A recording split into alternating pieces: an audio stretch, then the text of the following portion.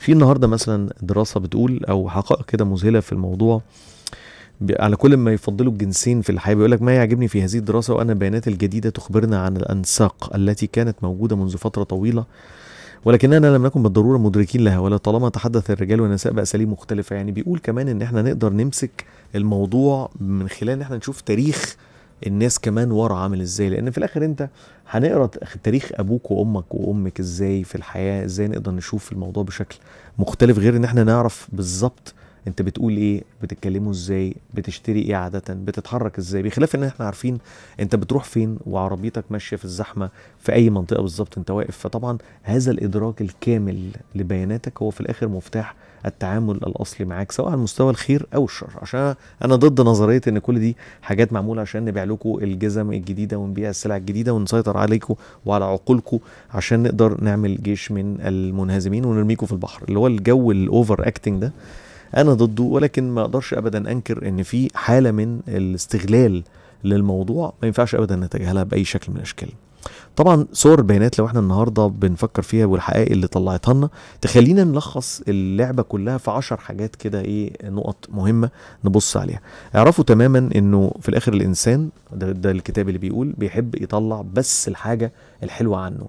يا جماعة ما فيش حد بيحط في الانستجرام صورة ليه وهو بربور كده زعلان ما مريل ما نايم متنفخ في الحمام ما متغاظ. بقى هو بيطلع صورك انت بتحط صورك وانت جميل وكذلك السيرفي بتاعك وانت بتشتغل وبتحط ال story بتاعتك.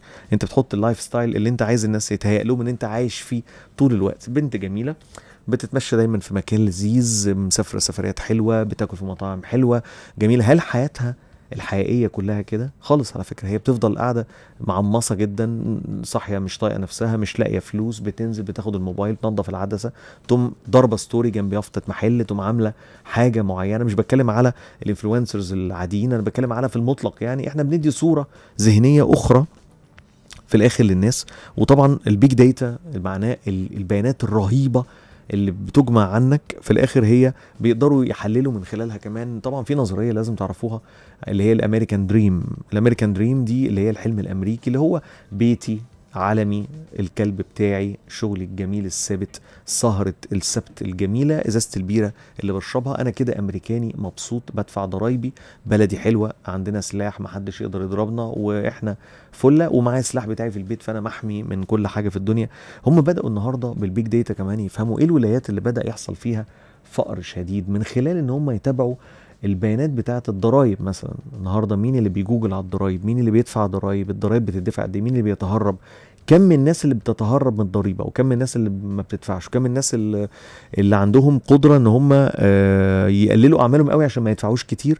كل ما ده بيزيد بيدركوا مقياس النجاح الأصلي للولاية اللي شغالة في أمريكا ويعرفوا هل هي فعلا قادرة على الاستمرارية بالشكل ده لازم يحصل تحسين. وقلت طبعا في اللينك اللي فات إن طبعا برضو بيعرفوا هل الولايات عايزة تنفصل ولا لأ. الولاية دي عايشة كأنها كل واحد لوحده ولاية منفصلة تماما ولا مندمجة ومبسوطة من هذا الاتحاد القائم اللي هو يعتبر دولة أو قارة كاملة جوه دولة واحدة.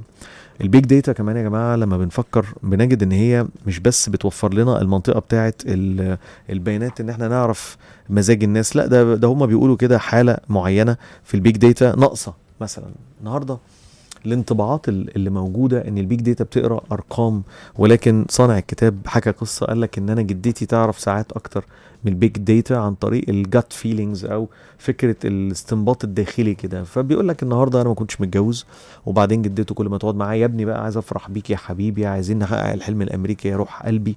وبتاع فبدأت تزن عليه كتير وبعدين فجأة بدأت توجهه لبنت معينة بدأت تقول له البنت دي هتكون مناسبة ليك جدا بشكل كبير.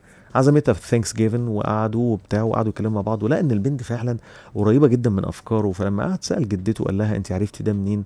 بدأ يكتشف إن جدته على مر السنين طبعا هي في المرحلة إن هي بتبدأ طبعا بنوتة صغيرة جميلة آه آه هلاهطه وبعدين بتدخل في مرحلة الشباب فبتبتدي تفهم شوية بعدين تختلط بالشهور بعدين قلبها يتكسر وبعدين تتجوز وبعدين تخلف ويبقى ليها أحفاد ومسؤوليات وبتاع وتكبر وتتحول لأم كبيرة وبعدين تبقى جدة آه، مهمة جدا. وده خط سير الست في الحياة زي خط سير الراجل الثابت يعني.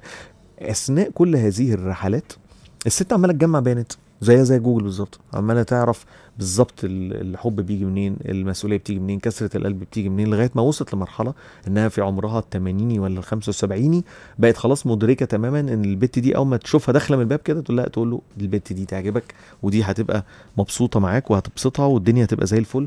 وقالت له حاجة مهمة جدا قالت له أنا عرفت المعلومة دي لأن كل ما يكون في mutual friends يعني كل ما يكون في أصدقاء مشتركين ما بين الاثنين اللي بيحبوا بعض ده بيحقق حالة معينة من الانسجام وبيحقق إن ال- الكلام كله اللي حاصل فعلا آه، ما بينهم بيستمر وتفضل العلاقة دي مستمرة بشكل كبير.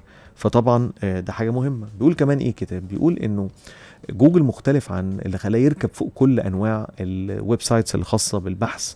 إيه إن هو كله كان بيدور يعني مثلا ياهو أو بينج أو أي حاجة من الحاجات دي كان بيدور على ال- البيانات من خلال keyword معين keyword معينة. يعني مثلا بندور على آه، كاتب معين نجيب محفوظ مثلا.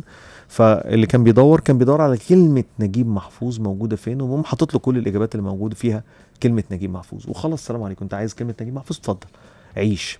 جوجل النهارده بدأ يدقق قوي هو أنا هجيب لك أي site في الموضوع ده. فبقى بيفرق ما بين ال site اللي بيقول آه في كلمة مثلا واحد كاتب تعليق بيقول آه والله أنا بحب أستاذ نجيب محفوظ قوي وفرق ما بين site اسمه نجيب محفوظ dot com فبقى بيصدر لك وبيصدر لك نجيب محفوظ الأول dot com وبعدين articles عن نجيب محفوظ وبتاع وفي الآخر الحاجات اللي مش مهمة وده أهمية الصفحة الأولى لجوجل اللي هي بيحصل بسببها تدافع جامد جدا في دفع الإعلانات عشان أقدر أحط مكاني جوه الصفحة الأولى لأن أغلب الناس ما بتدوس صفحة اتنين خلاص ده ده behavior كوكبي موجود. من سنة 98 فز- فضل هذا ال- الاستهداف عن طريق جوجل يعلي الموضوع لغاية ما قدر يقعد كل سايتات البحث في في العالم لأنه كمان قدر يمسك pattern معين. يعني إيه pattern معين؟ يعني اللينكات اللي أنت بتدخلها كام واحد من مصر بيدخلها؟ قد إيه دخلوا واتفعلوا ونجحوا واشتروا حاجات أو ما اشتروش أو خدوا البيانات copy أو مبسوطين بيها؟ اتنقلت في كام site فاذا هذا ال site موثوق فيه.